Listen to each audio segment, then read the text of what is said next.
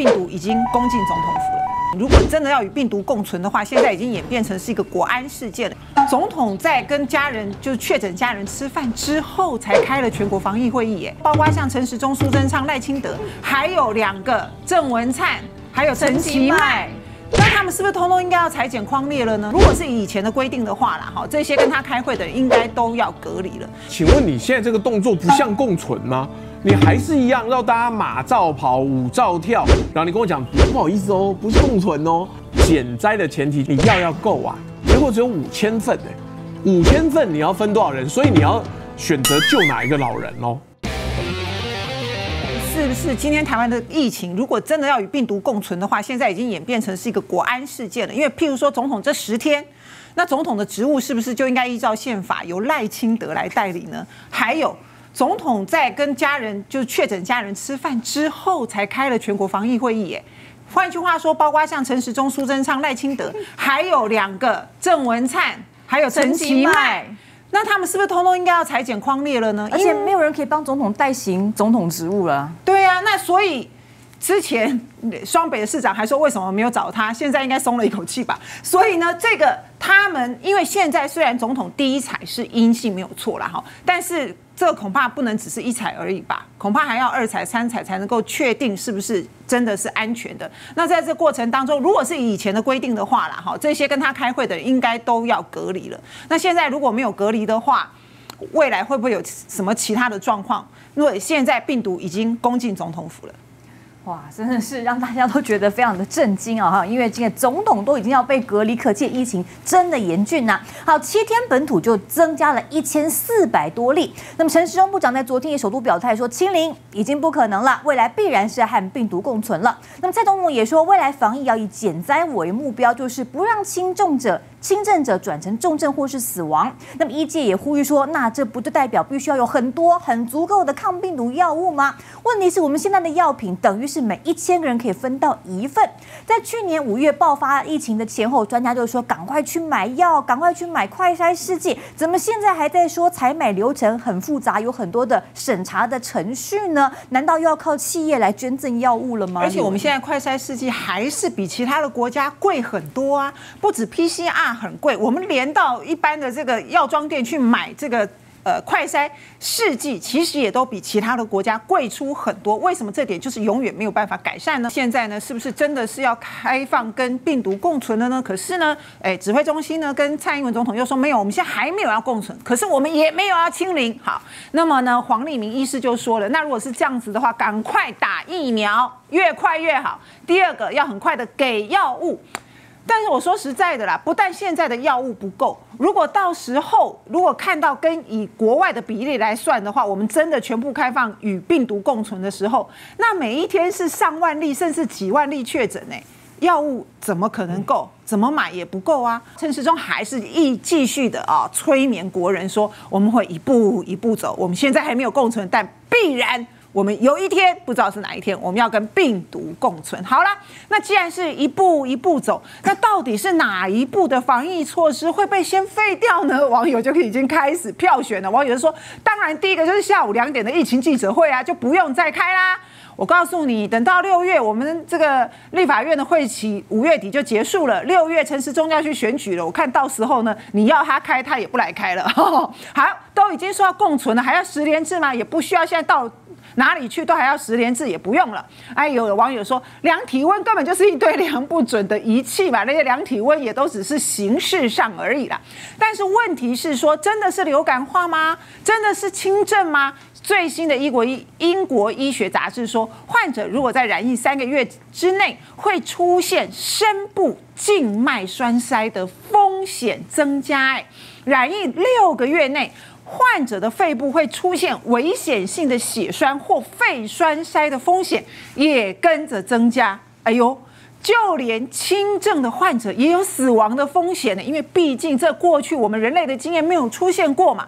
所以你以为轻症好像没事啊，可是三个月内、六个月内。都还有危险性血栓的风险，所以并不是像大家想的这么的安全哦。而且流感的致死率也没有这么高啊，流感的传染率也没有这么高啊。好，所以呢，邱淑媞署长就说了，哦，你以为欧米克戎很温和吗？没有，在香港已经造成比英美二零二零年一开始第一波更高的死亡数啊，所以感染并不会带来群体的免疫哦。欧米克戎是你会一而再再而三的被感染哦。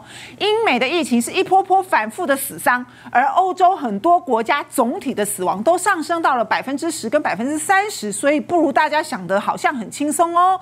疫情我们现在在台湾刚从一百多例增加到三百多例，就已经喊要轻症居家了，显然是忘了去年不逃护理师怎么样造成全家感染。婆婆死亡，因为你回家居家了以后，全家都有风险呢。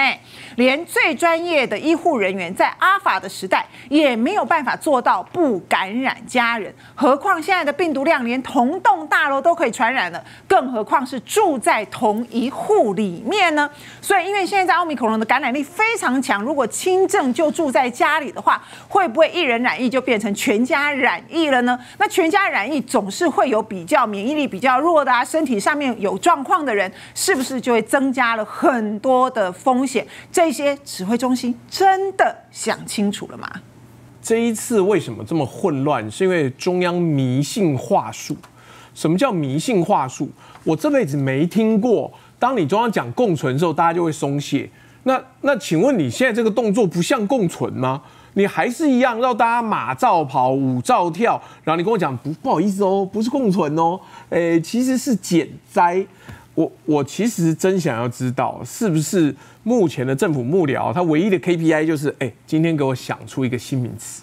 这个名词呢，你先想出来，恭喜恭喜，发奖金一万元，呃，什么全民自发爱心筛检，然后减灾。我我们认真的讨论。减灾的前提，就像刚刚讲的，你药要够啊！你不管是瑞德西韦，或者是呃莫沙东，或者是辉瑞那个药，是要让高危险族群，他一有轻症的，就一一流鼻涕，然后一筛检是马上吃那个药，就不会变成中症跟重症。结果你现在告诉我说，哦，OK，我们有了，那结果只有五千份呢，五千份你要分多少人？所以你要。选择救哪一个老人哦？就你今天如果有这么多老人，一万个老人就不够了，你知道？就二择一了。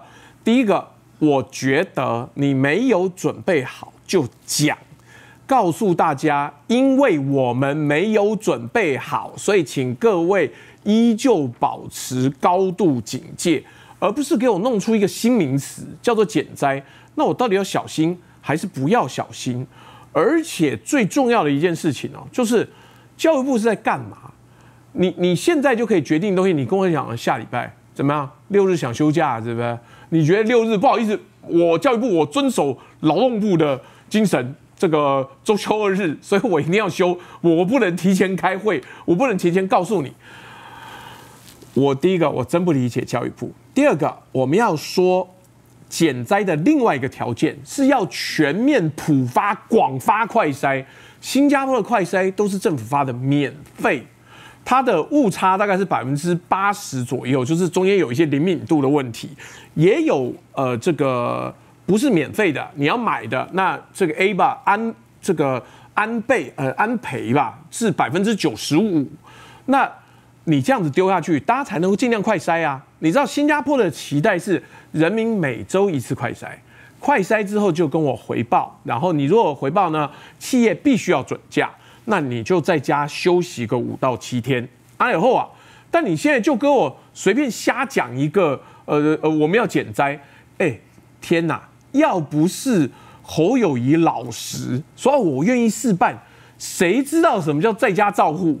你你知道，我真的觉得国民党对中央的配合都配合，然后民进党对地方的要求都不配合。那你你觉得，如果新北市要配合示范的话，可不可以给新北市每一个人一个免费的快筛？